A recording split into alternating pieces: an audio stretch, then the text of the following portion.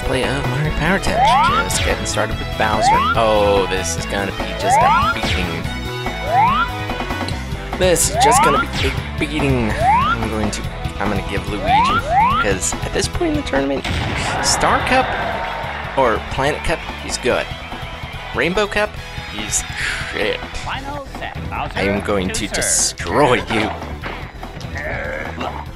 See?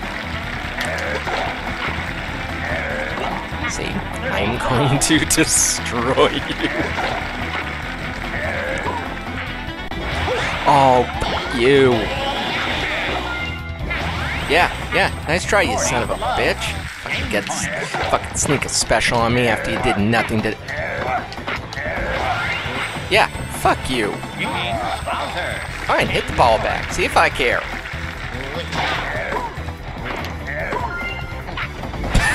Man, he flew for that one. Too bad it didn't do him any good. It didn't do him any good. I told you, this is just gonna be a freaking slaughter. And that's exactly what it was. God, over before it began. No, seriously, that was over before it began. That took less than 80 seconds just to wreck his shit.